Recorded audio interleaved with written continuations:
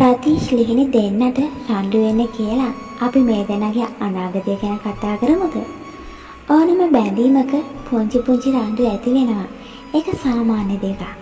අන්න එතන තමයි සැබෑ ආදරේ තියෙන්නේ.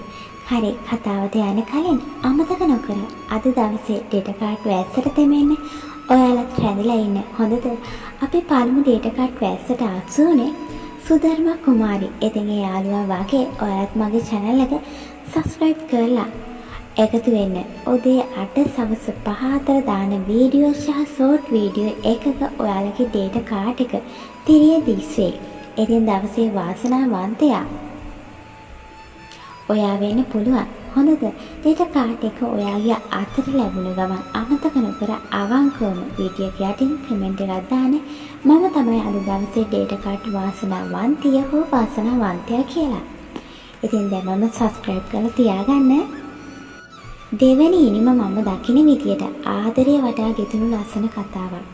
අන්න ඒ නිසා මම නම් කැමති ලිහිණි රාදේශ එකතු වෙලා ලස්සනට වෙඩින් එකක් අරගෙන අපේ චූටි මැණිකට සහ රාදේශ් දෙන්නගේ පුංචි කැදලට පුංචි චූටි මැණිකකුත් එකතුන් කරලා ලස්සන අවසානයක් දෙන්න ඒ සමගම ආදර්ශයකුත් දෙන්න කියලා. මිලියනයක පමණ මේ කතාව බලන ආදරය කරන අයට දෙවැනි නිමේ හදවත් තුළින් ගත හැකි ආදර්ශමත් තැන් බොහොමයක් තියෙනවා. මම දකින්නේ අන්න එහෙමයි.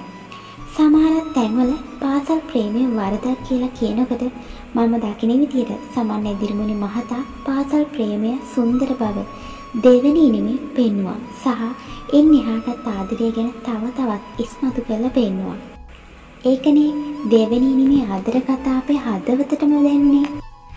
ඉතින් ඔයාලටත් හිතෙන දේ පාලින් කමෙන්ට් කරගෙන යන්න අමතක කරන්න එපා. එහෙනම් ගිහින් එන්න පරිස්සමට ඉන්න. මම ඔයාලගේ ආදරණීය හැලිය niece.